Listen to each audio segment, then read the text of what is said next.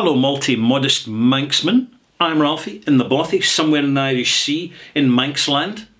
And thank you to Michael Wood for providing the malt mention for Ralfy Review 912 Extras. X for additional commentary, opinion, perspective, and all the rest of it relating to whisky. Now, I've just reviewed Loch Lomond 18 year old which it's not a great single malt, but it's an improved single malt and it's better value for the price you pay for it than it used to be. And something which is a bit of a feature of Loch Lomond Distillery, once you do your Sherlock Holmes, is your investigations is that this is a distillery that is very industrial in its approach to making whisky.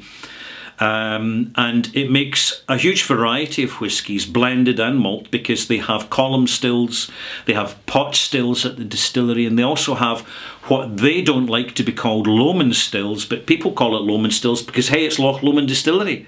You know, so why wouldn't you? Because you've got these big sort of fat necked cylindrical stills that are not, strictly speaking, pot stills. But um, that is tolerated. The Scotch Whisky Association, to the best of my knowledge, hasn't sent them a cease and desist letter about using these stills. And hey, it's traditional to that distillery, so why not?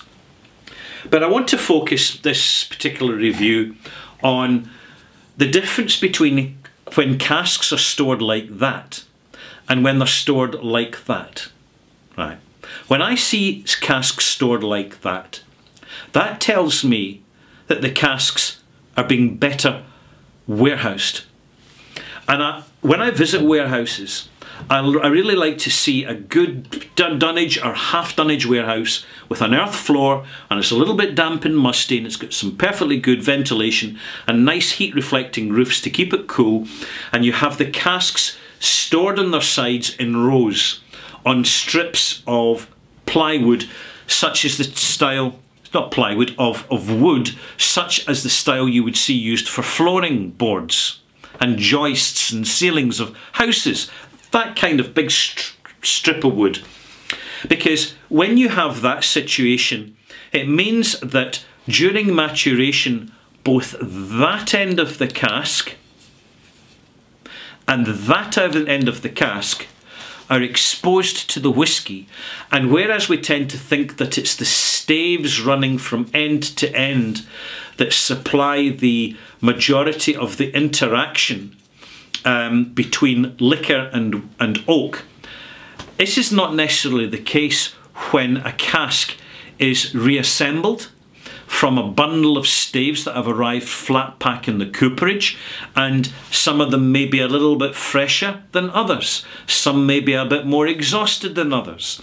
But the one thing that a cooperage can do for very little expense to the distiller in refurbishing their casks is that it can, can completely replace the wood on the barrel heads.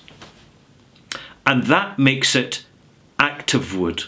Now, when a, when a barrel is sitting in its side, both ends are immersed with the whisky. However, when a cask, for purely for warehouse convenience, for logistical convenience, and no other reason, I don't care what these distillers tell you, frankly, don't believe them. It's just for practicality and convenience for using a forklift truck for manoeuvring casks in and around a warehouse. That's the only reason you have palletage. So pallets sit on, so imagine that my little book here is a wooden pallet, a standard industrial wooden pallet. Well, they set the casks on the pallet like that, and then they pile the pallets up on top of the casks 10, 12, 15 high. Can you imagine the weight now that's on the bottom casks? Compressing these casks, flattening and squashing these casks over the years. It's enormous. It's tons, it's tens of tons of weight. It's not good for the casks. Not only that, but see the side here. You see the little um, poplar bung that is used for filling the, the casks when they're lying flat? Well, that's got to be sealed up. And if it's sealed with a standard bung pot from poplar, it acts as a wick and the contents start le le leaking out through that little traditional bunghole. And not only that, they then have to put a bunghole in the top because they're filling the casks in the top because they're storing it on its end. And in doing so, one barrel head has got 100% exposure to the spirit inside for 100% of the time, and the other ca cask head, barrel head, none.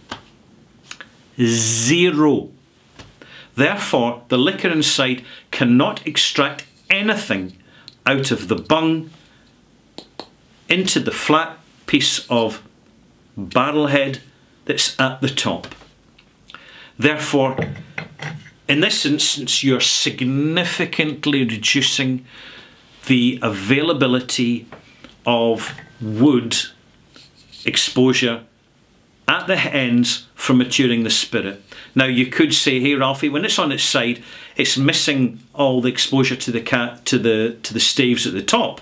So what's the difference?" Well, the difference is that when cooperages, when coopers are refurbishing a cask, they will replace the heads with fresh wood, which will give vital fresh wood connectivity with the contents for active and proactive maturation.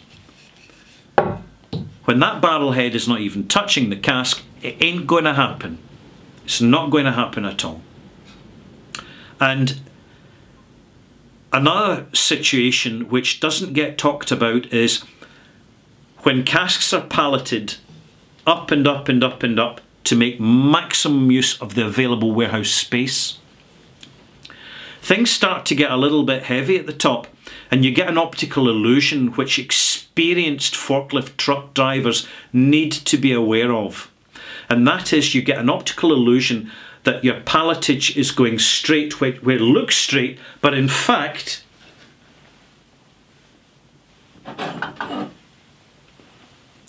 as the pallets go up and up and up, they start to lean out.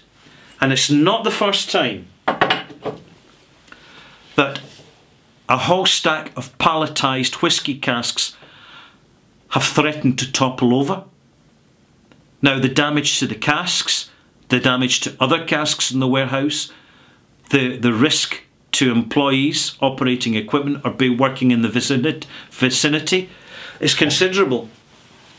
Um, and I would conclude by saying quite simply, very simple, when you have a traditional dunnage warehouse which costs more to keep, to manage, to look after, to build. It's more capital intensive. You simply get better results. You get more traditional results. When you have industrial, cheaper to build, more economical, industrial warehouses which are that much taller and you're stacking up the casks, sure, you can get more casks in. But it's a false economy because when these palletized casks get stacked and stacked and stacked, there's inevitably these casks at the bottom of the stack, at the back of the stack, which cannot be reached, cannot be touched, cannot be accessed until you literally move everything else. Um, and, and there you have it. I'm mentioning this as an extra because I just want you to be aware of it. I want you to be aware that increasingly the bigger whisky producers are using more and more palletage as time goes on. And when they move casks from one warehouse to another, as is their habit, once you've palletized a cask, it's difficult to unpalletize it for the simple reason you're changing the dynamics of the storage of the cask and a cask which has been compressed up an end going flat and being decompressed as, as a result of it, it starts to, it, it can cause leaks very, very quickly. So palletizing a cask is a one-way ticket. If I had a distillery, it would not happen I would, I would not let it happen. In my opinion, it produces inferior results. It's as simple as that. Because, and I conclude with this, when you, if, if they're not using a poplar bung in the side of a palletised cask into the stave, they replace it with a plastic bung, which means that during the entire duration of the maturation of whisky and liquor in that cask, it is being partially exposed to plastic. Not a lot, very little. But there's plastic going in, isn't there? Because alcohol's a solvent. And that's not a good thing, in my opinion. It's not good. And it is an opinion. Thank you for watching. I, I, I restrained this from becoming a rant. I didn't want it to be a rant. And it isn't a rant. It's a disclosure. Because you very rarely get these things disclosed, disclosed. But with the price of whisky and other quality spirits, it's understandable, it's reasonable, it's to be expected, and it's to be encouraged, maltmates, that we understand how this product is being made and why we are paying the prices that we are paying. Is the quality there for the price that's being asked? Well, it better be. It better be.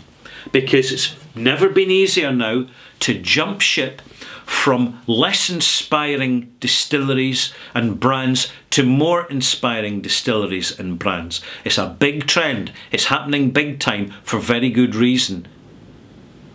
So there you have it. See you soon.